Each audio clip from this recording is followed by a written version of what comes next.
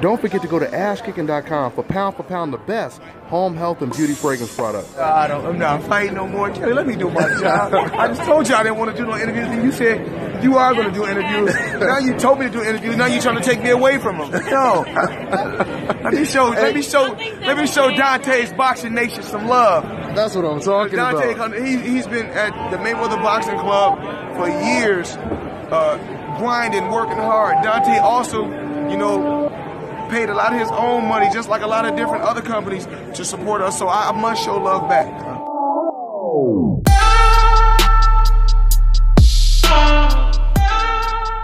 So um, I had to revise this video. Um, I had some audio problems in the last one, and I wanted to make sure that you guys heard everything I said because I was dropping some jewels in this video.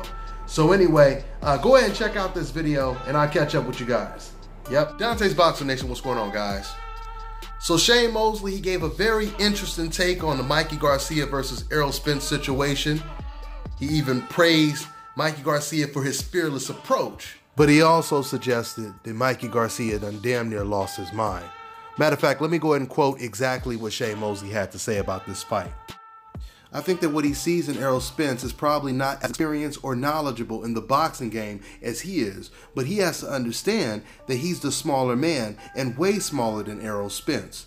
The little mistakes that Errol Spence might have is not going to do away with his size. Plus, he has speed and power as well, and Spence has been in the ring a lot of times with Floyd Mayweather and other fighters, so he has experience as well. Now, once again, I've been telling you guys for the last couple videos, Shane Mosley, he moved up two weight classes to defeat, at the time, top three pound for pound best fighter in the world, Oscar De La Hoya. So Shane Mosley, he compared his situation with Oscar De La Hoya to Mikey Garcia's situation, and this is what he had to say. Quote, I think the difference is I was a bigger lightweight going up to welterweight than Mikey was. Mikey came from like 126 or 122 pounds, and now to go to 147, I think it's going to be too hard for him to make that jump if he wants to stay undefeated. I really wanted to go straight to Oscar because when I was coming up, Oscar was actually lighter than me as an amateur. He fought at 132 pounds and I fought at 139 in the amateur rankings. With Mikey, it's a little different. He's fighting a guy at 147 who could really fight at 160. It's a different thing. Oscar was obviously a good fighter at 160, but he's really not a big fighter like that. Mikey fighting Spence is fearless, but also probably stupidity. I knew I could beat Oscar. We were built similar in terms of weight and other stuff like speed and power. It was a great fight, and we were both equally matched, and we gave the fans what they wanted to see. End quote. The one thing I will say is when it comes to Mikey Garcia, Mikey Garcia has already fought at 140 pounds. And when Mikey Garcia fought against Adrien Broner, who also fought at 147 before, Mikey Garcia, he looked stronger of the two. He looked like he was stronger than Adrien Broner. I think people are really underestimating Mikey Garcia's power and him translating his power up to 147. I told you guys this in the previous video. I truly believe that Mikey Garcia is going to surprise fans and even Errol Spence with his power. I still don't think it'll be enough to beat Errol Spence because I think Errol Spence overall is a better fighter than Mikey Garcia. Errol Spence is more of a complete fighter as opposed to Mikey Garcia. Mikey Garcia is very technically sound and everything he does, he does well. But the missing component in Mikey Garcia's attack is his inside game. Mikey Garcia is not an inside fighter. Mikey Garcia is a distance range and he's a mid range type of puncher. Mikey Garcia wants to set you up with his terrific jab and that hard right hand.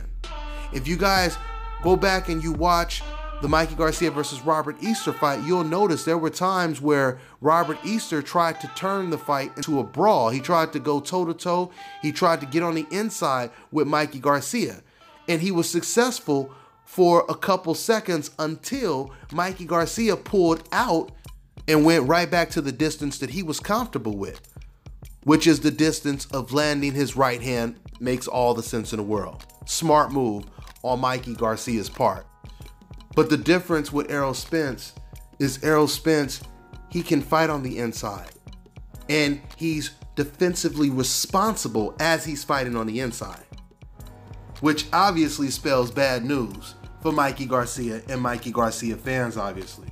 See, when Mikey fought fighters like Orlando Salido and even Robert Easter, fighters that wanted to engage on the inside, Mikey Garcia was able to avoid that. But it will be impossible to avoid an inside confrontation with Errol Spence. Errol Spence is going to find a way to get on the inside. And you know what's really interesting when I think about this is Robert Garcia, uh, Mikey Garcia's uh, trainer and brother, he said before the Robert Easter fight, he said, You may see Mikey Garcia fight a way you've never seen him fight before. He said, uh, You may see him fighting on the inside. And he said, I know Mikey has never done that before, but Mikey can do it, right? And the funny thing is, what Robert Easter saying this, or what Robert Garcia saying this, what happened was the complete opposite. It was a complete opposite. It was Mikey Garcia that was once again trying to avoid an inside fight with Robert Easter in the later rounds. It was Mikey Garcia. Every time Robert Easter got on the inside, it was Mikey Garcia that would pull out and he will go back to his jab and his right hand. So this tells me that even though they planned on fighting on the inside, they still were not comfortable to do it. And if they weren't comfortable to do it against Robert Easter, they're certainly not going to be comfortable to do it against Errol Spence, which is bad news for Team Garcia.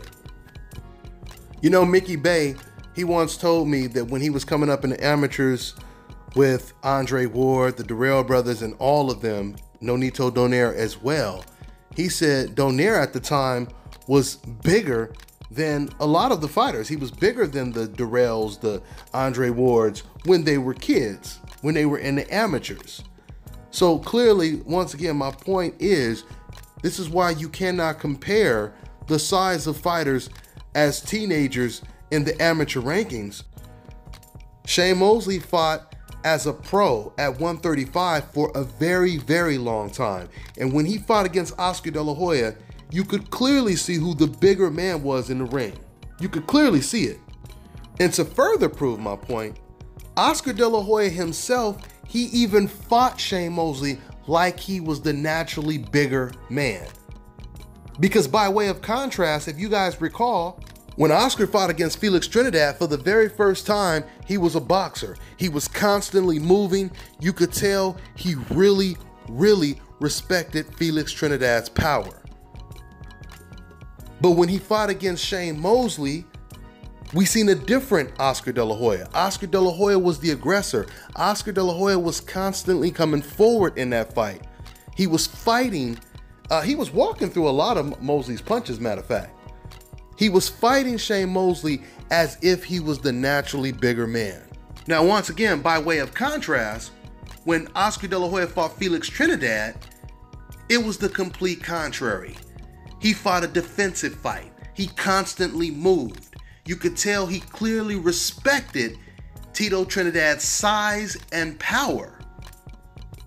Matter of fact, he respected Trinidad's power so much that in the last three rounds, Oscar De La Hoya didn't even bother throwing punches anymore.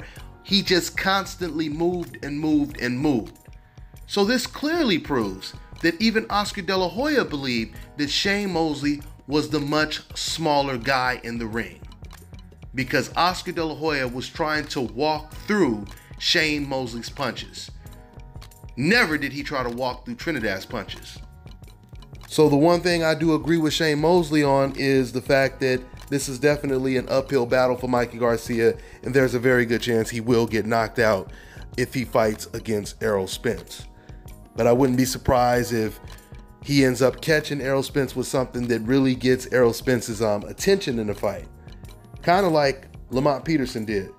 But speaking of Lamont Peterson, you know, when you think of how Lamont Peterson did with Errol Spence, you think of how Kell Brook did with Errol Spence, you think about the fact Errol Spence has sparred with Floyd Mayweather, sparred with, he spars today with Jermell Charlo.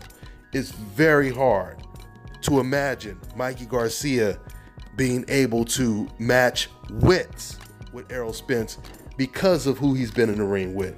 you know, once again, for anyone thinking that Errol Spence is just some mindless brawler who's one dimensional, you guys do not know Errol Spence. I don't watch this man spar with Jermell Charlo. And I can tell you right now, it was an aggressive chess match in there. And the reason why I say chess match, because both fighters were using their intelligence in there. Okay? Errol Spence was just as intelligent as Jamal as Jermell Charlo was in there. I mean, they had to really, really raise their game because of who they were in the ring with. So, with that being said, I'm looking for the announcement. I'm looking for the announcement. I mean, if Mikey Garcia is serious about fighting Errol Spence, we should get an announcement like really soon because a fight like this, like Errol Spence said, is easy to make. It's very easy to make. Mikey Garcia works with Al Haymon. So does um, Errol Spence, obviously. They both fight on Showtime. This is a very, very easy fight to make. So if Mikey Garcia is serious, we should get an announcement within, I would say, within what, the next two to three weeks? Within the next two to three weeks, we should be getting an announcement.